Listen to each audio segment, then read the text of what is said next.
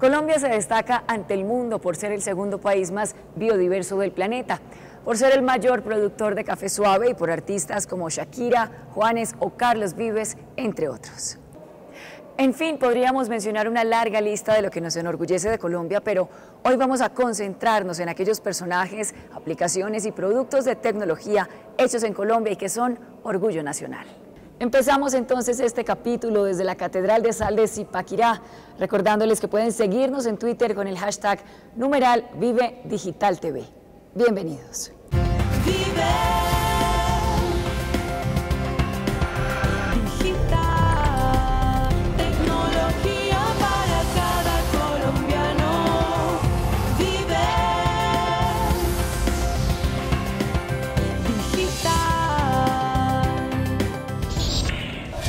decía, en Colombia tenemos software, hardware, servicios y talento humano que se está destacando en el mundo de las tecnologías de la información y las comunicaciones.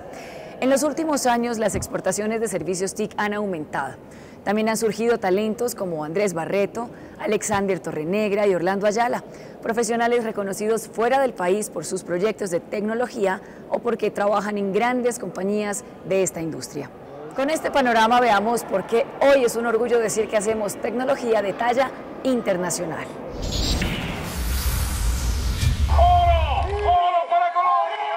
Ayer me dijiste que tú me querías. Ellos no son los únicos colombianos reconocidos a nivel mundial, ya que la industria tecnológica hoy también le está dando a nuestro país un gran reconocimiento.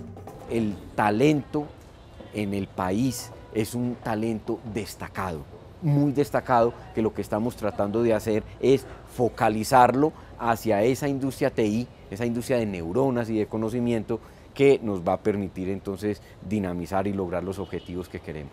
Gracias a sus buenas prácticas en cuanto a las nuevas tecnologías, Colombia ha escalado siete posiciones en el reporte global de las tecnologías de la información 2013 siendo reconocida en Latinoamérica por la creatividad de su gente y el compromiso del gobierno y de la empresa privada en este campo. Estamos muy convencidos de que aunque esta industria hoy no es muy representativa en el PIB nacional, pero lo que sí tenemos claro es que tenemos un inmenso potencial que estamos fortaleciendo, estamos fortaleciendo esta industria TI como decía ahorita, para transformarla en una industria de talla mundial. Hoy no solo hablamos de los cantantes, deportistas o artistas que dejan en alto el nombre de Colombia en el exterior, sino también de desarrolladores de software, robótica, aplicaciones, gracias a la estrategia de fortalecimiento de la industria de tecnologías de la información. Como esto es una industria de conocimiento, la apuesta mayor tiene que ser en el tema de talento. Miles de colombianos se están sumando a esta era digital, gracias a proyectos como AppsCo, Crea Digital, Talento Digital, entre otros. Hoy no solo estamos ensamblando computadores de marca, también estamos desarrollando software premiado a nivel internacional. La siguiente nota demuestra que hacer tecnología para promover las lenguas indígenas puede ser un verdadero hit. En Colombia existe alrededor de 65 lenguas indígenas, algunas de ellas casi desconocidas.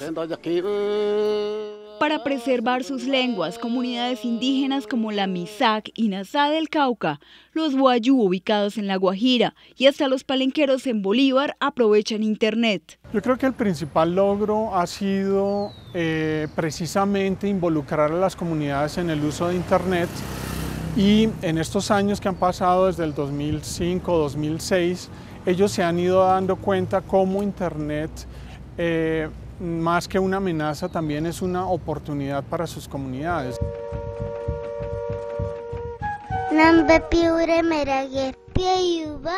A través de una página web llamada En mi idioma, los mismos indígenas crean sus contenidos, enseñan el alfabeto, palabras, así como las costumbres de su comunidad.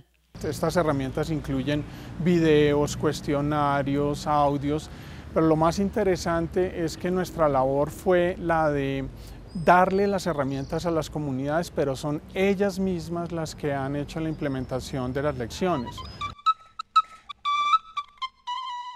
Con la plataforma en mi idioma Wayunaiki, así los chicos se motivan más, se esmeran, se entusiasman cuando dicen, no, vamos a dar la clase hoy de Wayunaiki. Este trabajo de participación al estilo colombiano le permitió a esta plataforma ganarse el premio de la Cumbre Mundial de la Sociedad de la Información en 2013 por promover la diversidad e identidad culturales. También en el mundo se está destacando nuestro talento humano. Veamos la historia del doctor Raúl Cuero, un reconocido microbiólogo que salió de Buenaventura a la NASA.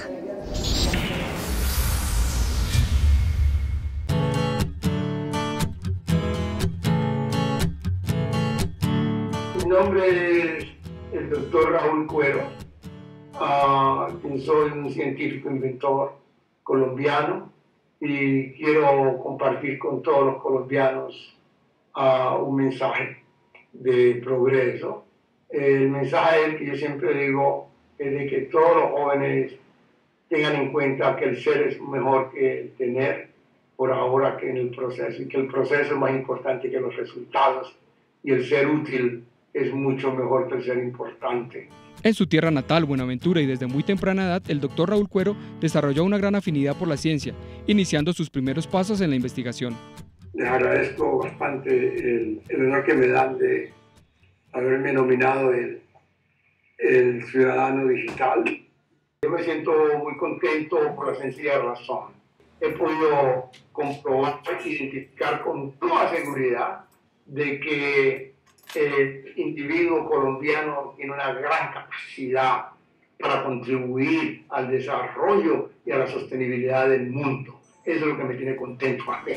Su último estudio en biogénesis es la investigación que más ha disfrutado y la que lo llevó a trabajar en la NASA. Y entonces decía que lo más importante no es buscar agua en Marte, porque cuando hubiese agua no necesariamente iba a existir vida, porque no es el agua per se quien determina la vida, sino los minerales. Ha recibido numerosos premios científicos y reconocimientos internacionales, entre ellos el profesor distinguido de microbiología en Londres. Bueno, en primer lugar, es participando en la génesis, o sea, o sea, el inicio de los procesos creativos, tecnológicos, científicos y humanísticos también.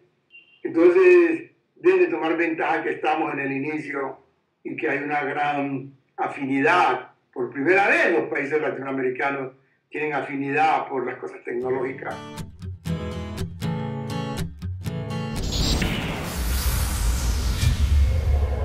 Como el doctor Raúl Cuero, tenemos en Colombia verdaderos cerebros en la industria TIC. Por ejemplo, en Medellín dos jóvenes crearon un videojuego de un chimpancé que se ha convertido en uno de los más descargados en una tienda en línea.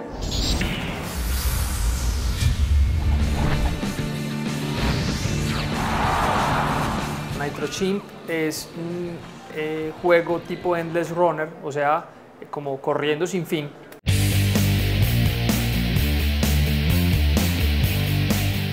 Nuestro personaje es un, chimpancé que, que, hace como acrobacias en motocicleta y el objetivo del juego es como sobrevivir el mayor tiempo posible corriendo por una carretera con obstáculos, haciendo acrobacias y compitiendo contra un gorila que está tratando de de, tirarlo a uno pues, de, la, de la motocicleta.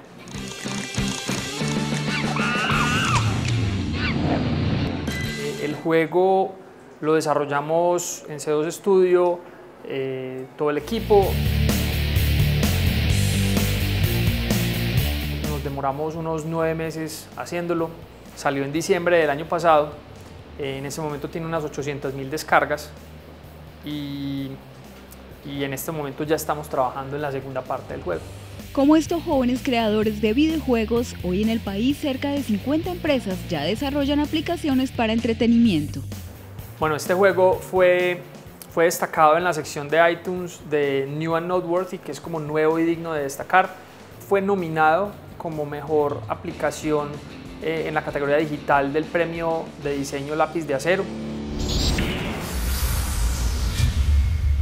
No cabe duda de que Colombia se puede convertir en pocos años en una verdadera potencia en la industria TIC. Por ejemplo, en Florida Blanca, Santander, la Fundación Cardiovascular es pionera en telemedicina, tanto que desde hace unos años diseña, construye y vende por fuera del país equipos biomédicos.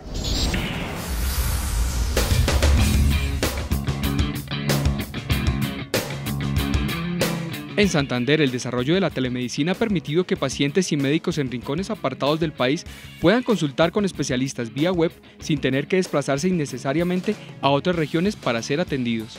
Lo que la telemedicina garantiza es que las personas que tienen problemas o difícil acceso geográfico puedan acceder de manera oportuna a los servicios de salud a través de la telemedicina.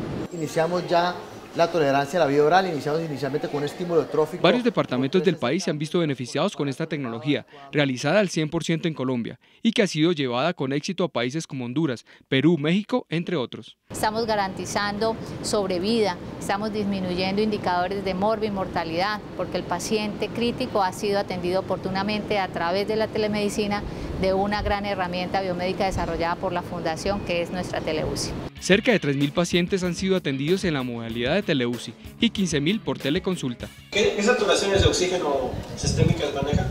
Está saturando más o menos entre 75 y 80%. Es importante resaltar que eh, todo el recurso utilizado, tanto infraestructura como capital de recurso humano, es netamente colombiano.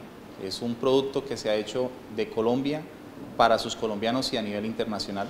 Estamos manejando pacientes del exterior y estamos garantizando que puedan recibir una atención especializada con la mayor alta calidad y con la mayor innovación y tecnología que podemos ofrecer en nuestro país.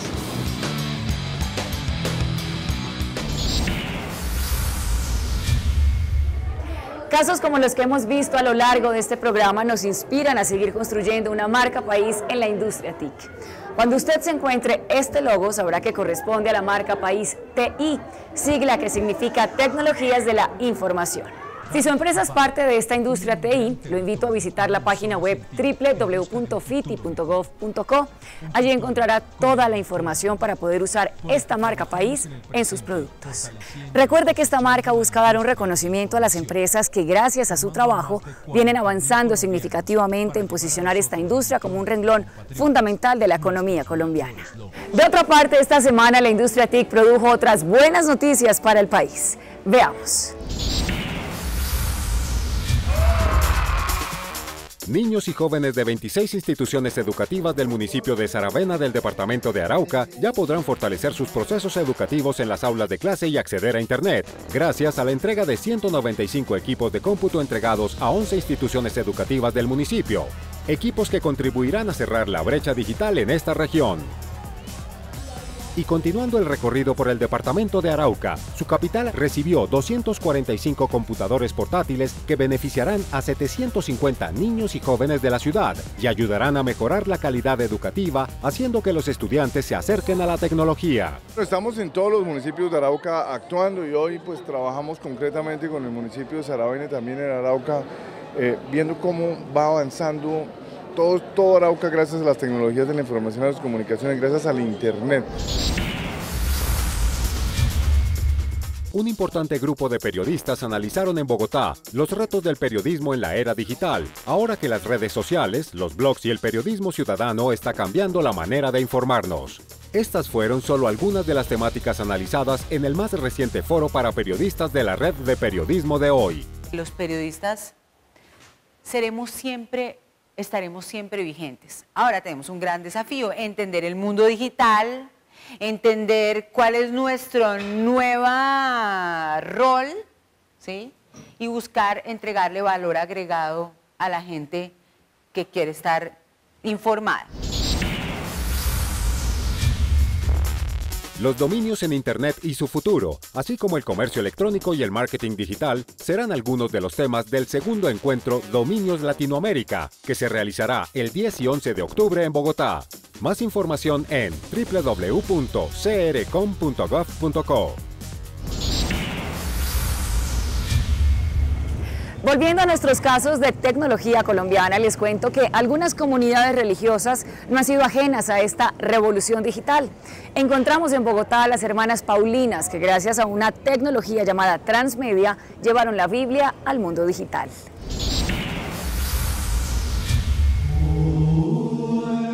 Hace muchos años las hermanas Paulinas en Colombia dedicaban la mayoría de su tiempo a la oración y al ayuno. Y hoy, con el paso del tiempo, sus carismas y dones son puestos al servicio de los medios de comunicación. Quisimos abrir eh, la misión, quisimos llegar a otras personas, quisimos también aprovechar esa linda oportunidad que nos brindó eh, ProExport y Mintic con esa alianza que nos sirve a todos. Las hermanas Paulinas son pioneras en Latinoamérica en este campo de la evangelización gracias a las nuevas tecnologías y la transmedia. A partir del relato de la creación que tomamos como base, se elaboró un video, un pequeño video que ya ha sido subido a YouTube. También logramos eh, crear nuestra página y crear esta nueva página que se llama Paulinas Kit. A la vez elaboramos algunos juegos sencillos porque es nuestra primera experiencia, pero estos juegos también ya llevan una parte de interactividad. El Papa Francisco dice que hay que llegar a las periferias de la existencia de las personas. Entonces con este proyecto Transmedia nosotros también queremos llegar a la existencia de las personas en su cotidianidad realizando este proyecto que eh, de alguna manera aprovecha la tecnología y aprovecha el mundo digital para llegar a la gente. Normalmente el hábito pues no es un impedimento para llegar a tantas personas y, es, es, un signo, pero de alguna manera lo más importante es la misión que realizamos como mujeres en la iglesia y en el mundo de hoy a través de nuestra misión en el mundo digital. Y si las hermanas Paulinas no se quedan atrás, los jóvenes colombianos tampoco, pues son los primeros en la lista de emprendimiento digital. Es el caso de Andrés Felipe Giraldo, un fanático de la robótica que se ha convertido en uno de los primeros en exportar robots a países como Costa Rica, Perú y Ecuador. Soy Andrés Felipe Giraldo, director de Ingeniería Aeronáutica de los Libertadores, y los invito a que conozcan sobre cómo estamos haciendo robótica en Colombia. Desde que cursaba noveno grado en el colegio, Felipe comenzó a diseñar, construir y vender proyectos de ciencias, maquetas, robots y aeromodelos. La robótica no solamente es ese androide que nos imaginamos que nos puede llegar a ayudar en casa o los robots que ayudan para construcción, sino pues ya hay unos un poco más conocidos como las aspiradoras o como muchos elementos del hogar que pueden llegar a ser robóticos, elementos que ayuden en otras industrias como lo son en la agropecuaria.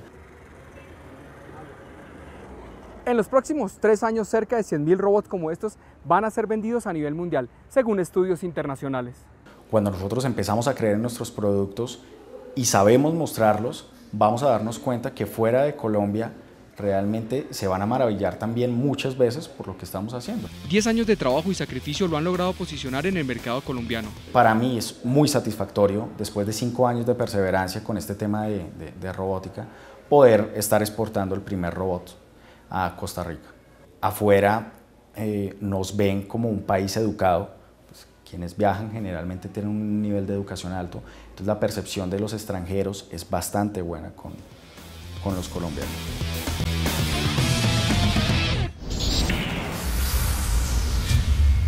Terminamos este capítulo de lo que hoy nuestro talento nacional está haciendo por Colombia, aprovechando la tecnología. Los dejo con un hombre que nos inspira a seguir nuestros sueños en la vida. Él es Juan Pablo Gaviria, un emprendedor que recorrió el país en moto durante 20 días y de ahí surgió la idea de apostarle a su empresa de aplicaciones móviles.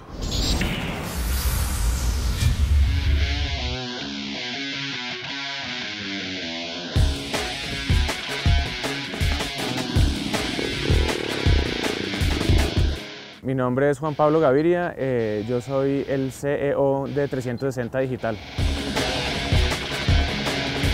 Me fui a dar una vuelta por Colombia, quería conocer mi país, yo sentía que los que vivimos en las ciudades capitales vivimos en una burbuja y no conocemos realmente el país. En este viaje me di cuenta que el 99% de los colombianos tenían entre comillas menos que yo, pero todos eran más felices.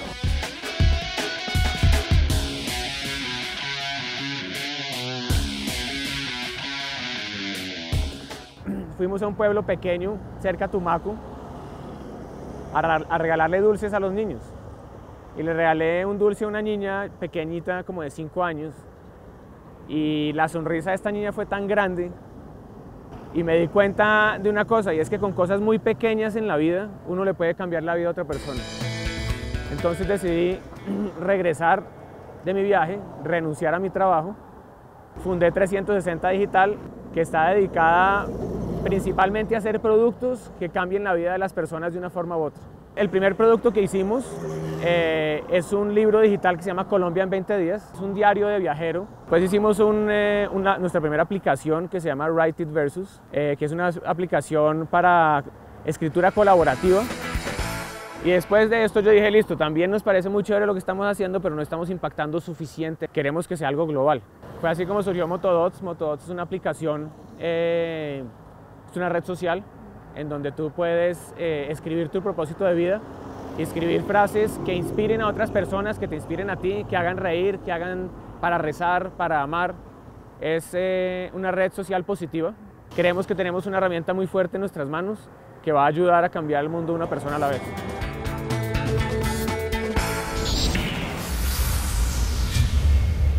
Quisiéramos compartirles más historias de colombianos que están haciendo patria desde la industria TIC. Seguramente tendríamos para otro programa, pero se nos acaba el tiempo.